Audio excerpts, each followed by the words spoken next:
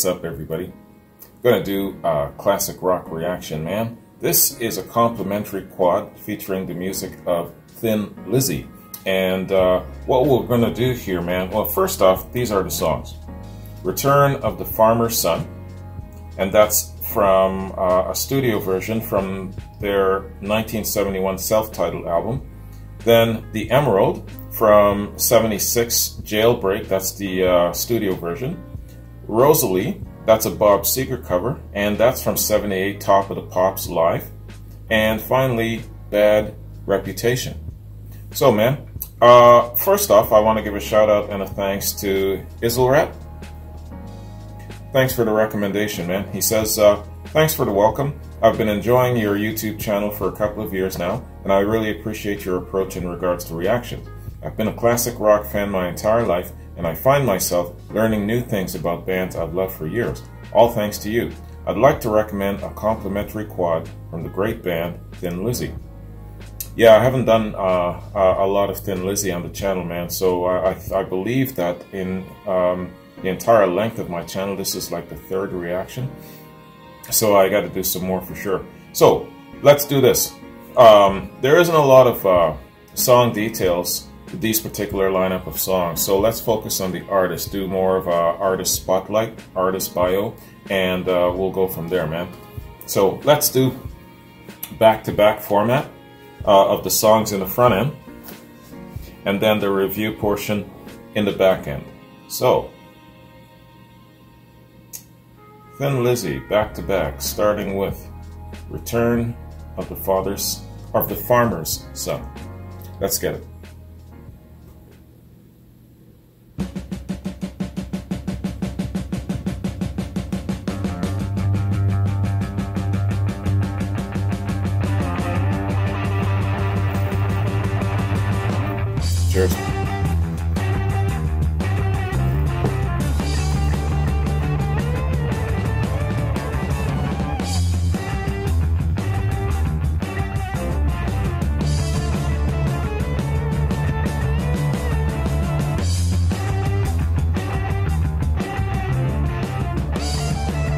Sounds like the drummer sitting right behind me.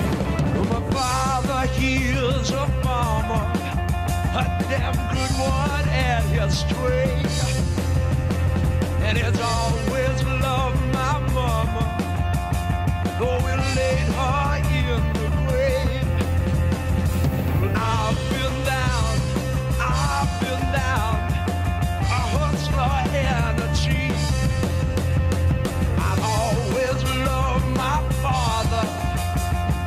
Kind heart can't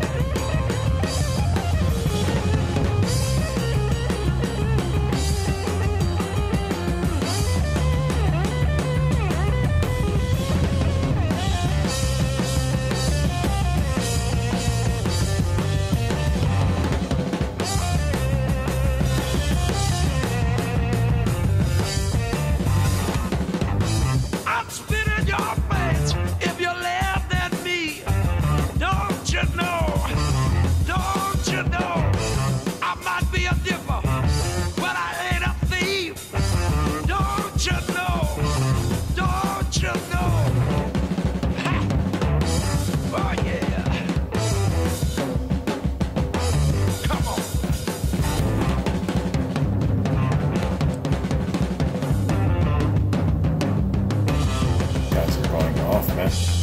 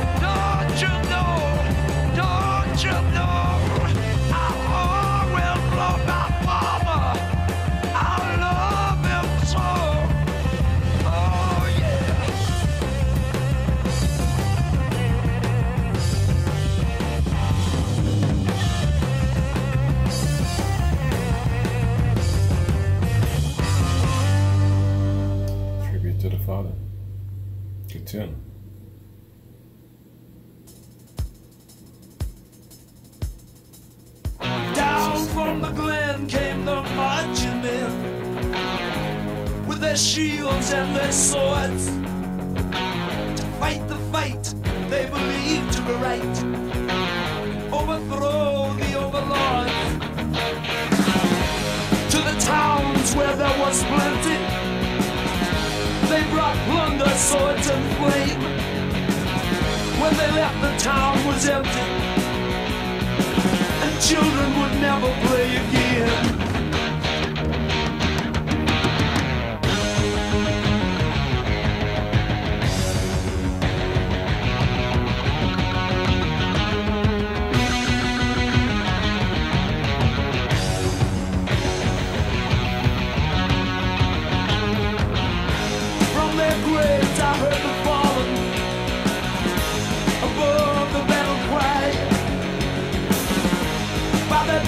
to the border. There were many born today.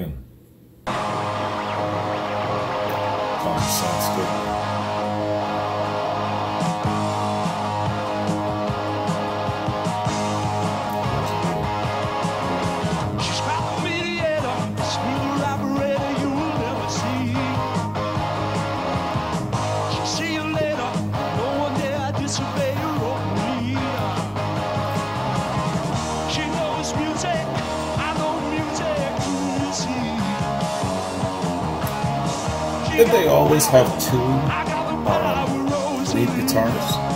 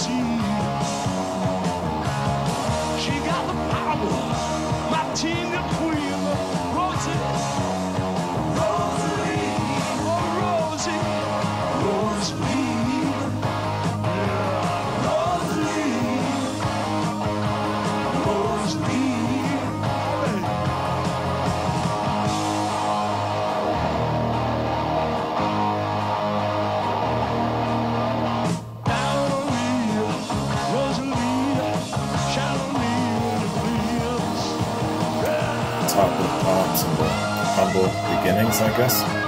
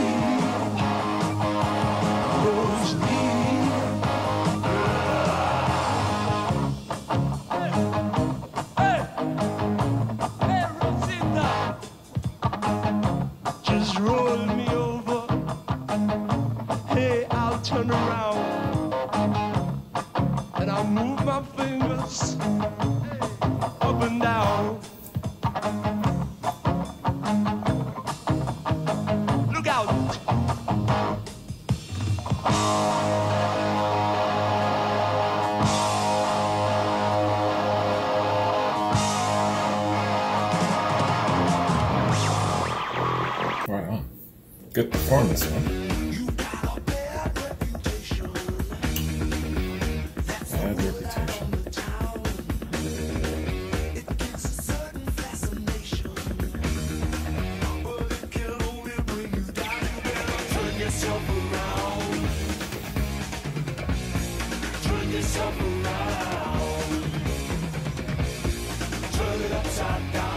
I guess they've always had two lead guitars. Because he's playing bass. Okay. I wasn't paying attention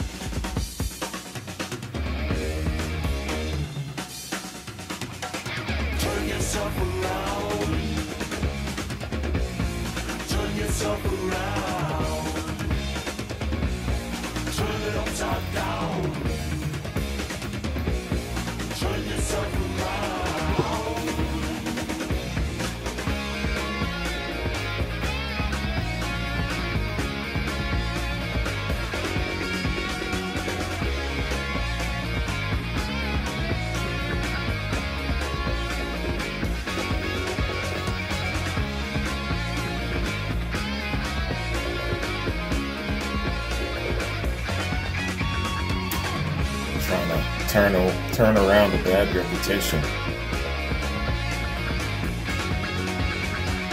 Easier said than done.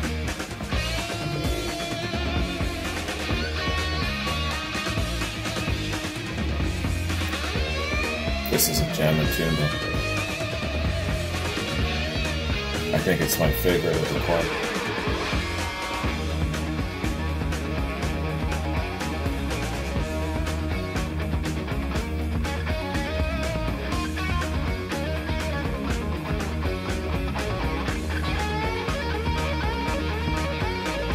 Really know how to jam, man.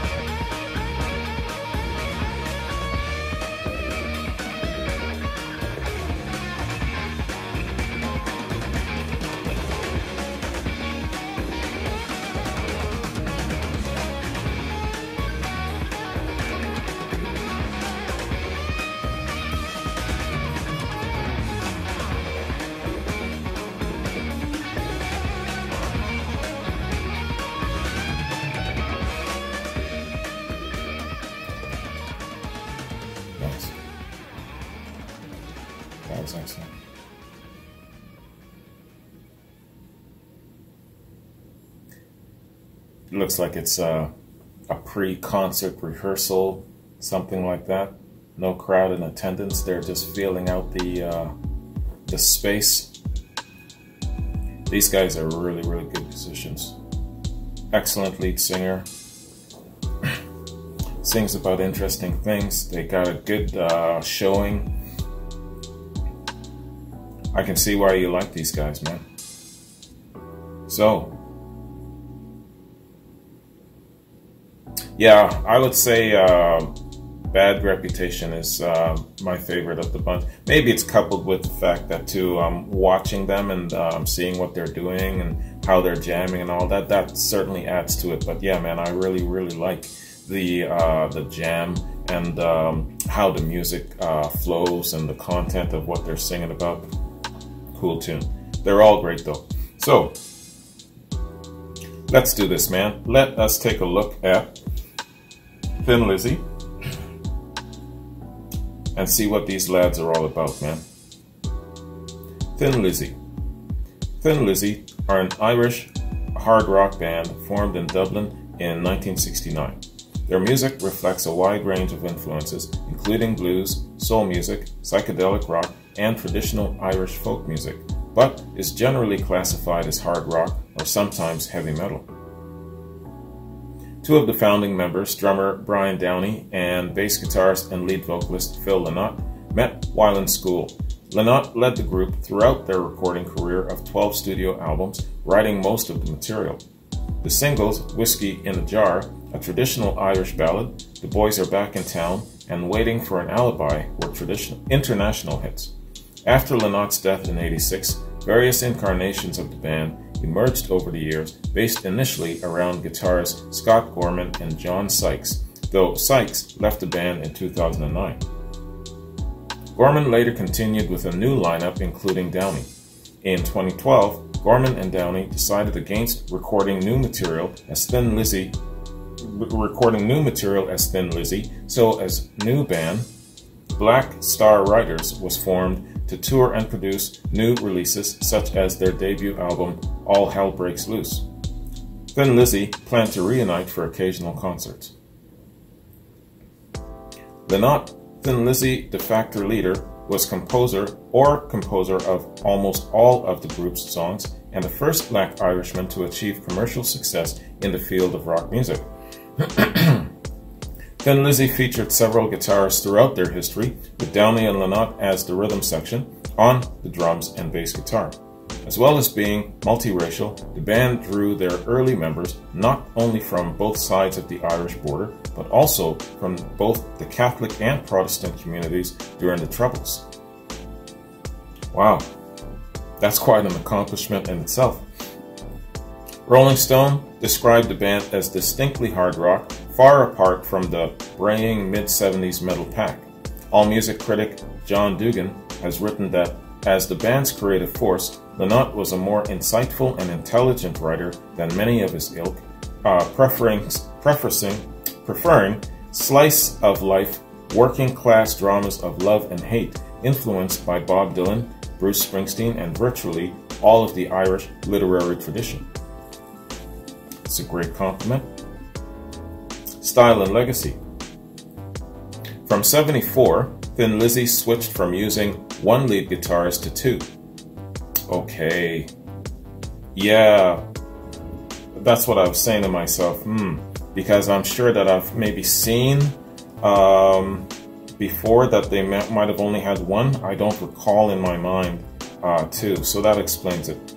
So it must have been very early Thin Lizzy, only had the one guitarist. This style was later refined and popularized in the mid 70s by bands like Judas Priest and later by the emerging new wave of British heavy metal groups such as Iron Maiden and Def Leppard. Iron Maiden covered the song Massacre from Thin Lizzy's Johnny the Fox album and released it on their 1988 single Can I Play with Madness. A cover of Cowboy Song appears on Sound of White Noise in 93 by Anthrax as a bonus track on the album's Japanese and Australian releases, and as a B-side on some singles of Only and Black Lodge. Thin Lizzy are also a major inspiration for modern heavy metal bands such as Metallica, Alice in Chains, Mastodon, and Testament. Alternative rock group The Hold Steady have also cited Thin Lizzy as an influence. Alright, y'all. There we have it. A look at Thin Lizzy, their contributions, their sound, their look, and um, their importance, especially to a lot of uh, bands that came after them. It's great. It's great to have a legacy like that. To be able to say that, yeah, you know, uh, my pops, when he was in this band, he was really influential. They were groundbreakers and they were part of shaping of this. They were part of that creative renaissance and they helped to uh, shape the formulation of great bands such as the ones that you're listening to now, Alice in Chains, Metallica, all of these great, great uh, artists owe so much to the influence of these great artists from before. And look, I mean, they had to pay the price to even come together and be a band. You know, coming from their history, where they're from, all the things that were going on in the environment, you know, that would have been a real hurdle to actually get together and jam, even be seen with each other. Yo, man. So they really paid the price for what we're enjoying today. You know, it's just so easy. You can just basically put something up online, hey, looking for uh, to form a band, so and so and so and such, and within hours you've got hundreds of replies. It wasn't that easy back then, you know what I mean? So these guys really, really paved the way for so many. All of the great artists from back in the day did, man. They paid a certain price so that we could enjoy the luxuries that we have now. I remember, uh,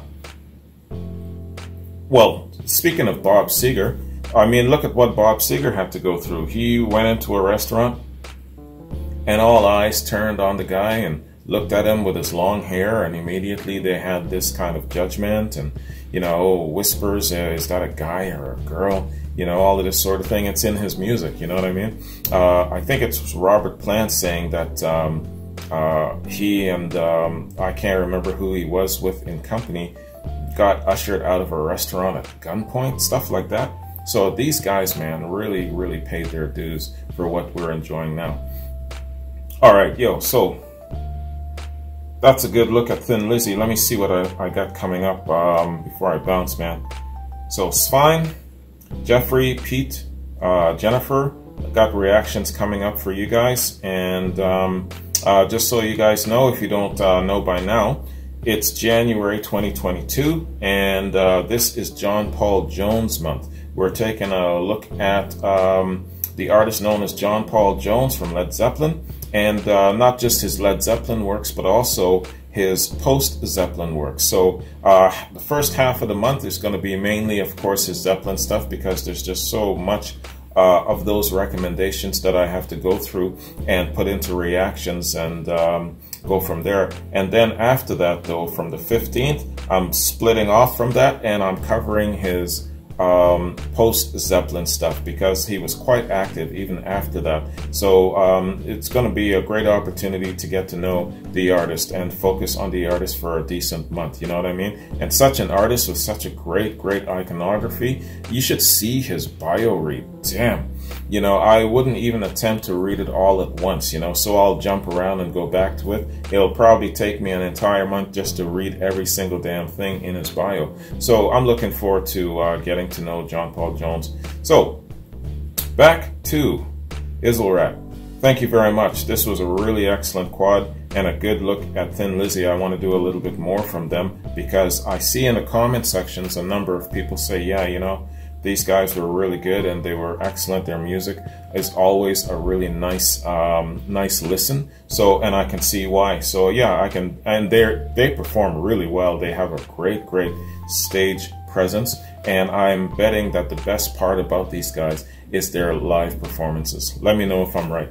Anyways, thanks very much for joining me. Take care. And the next time you see me, it'll be tomorrow.